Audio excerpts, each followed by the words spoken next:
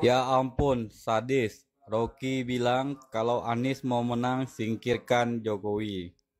Bung Rocky, aku menanya Bung Rocky boleh ya? Ya, ya, Oke. Oke. Kita pernah dengar Bung Rocky bilang bahwa eh, Anies suatu. Anies tidak akan pernah memenangkan pilpres karena ada penghalangnya. Yes. Dan Bung Rocky mengatakan itu jauh sebelum pilpres dan sekarang terbukti.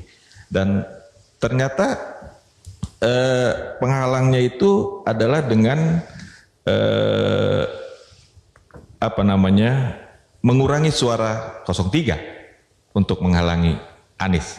Oh, Apakah enggak. seperti itu? Enggak begitu. Saya saya kasih kuliah di Melbourne. Lalu saya bilang, ada orang bertanya, Anies menang enggak? Saya bilang, Anies tidak mungkin menang.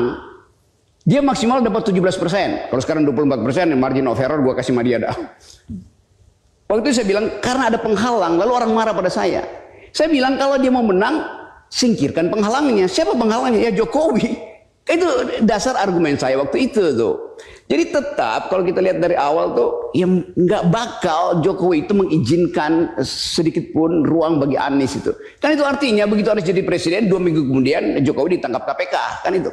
Bukan karena Aniesnya tapi karena desakan politik. Jadi semua ide perubahan itu diaklamasikan dalam suara Anies itu. Maka orang akan tuntut pada Anies itu. Anda presiden kan, persoalkan money laundering yang pernah terduga pada keluarganya kan.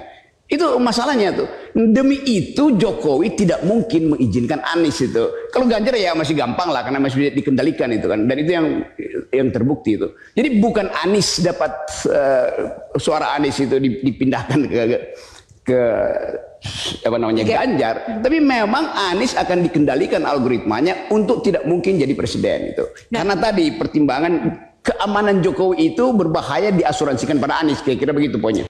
Nggak nyangka Rocky Gerung bilang begini pada Jokowi.